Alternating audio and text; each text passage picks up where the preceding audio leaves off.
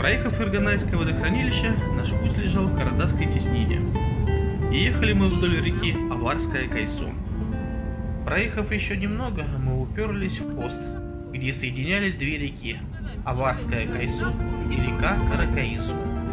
На этом посту мы ушли налево, вдоль реки Каракаису. Именно здесь мы решили остановиться и запустить наш дрон и полетать над долиной реки Каракаису. Сами можете посмотреть и убедиться, какая же здесь все-таки красота.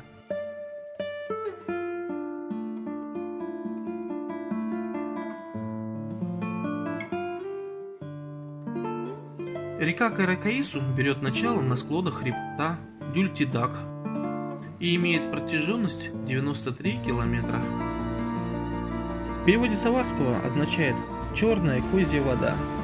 В районе села Гиргибиль река Каракайсу встречается с рекой Казимская Кайсу.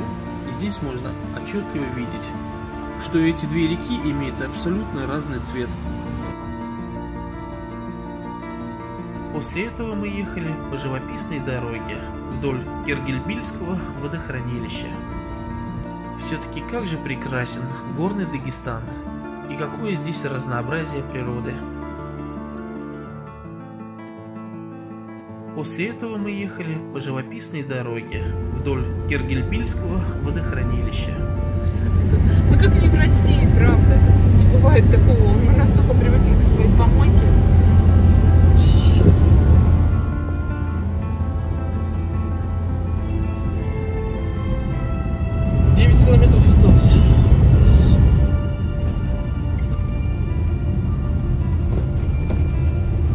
Все-таки как же прекрасен горный Дагестан и какое здесь разнообразие природы.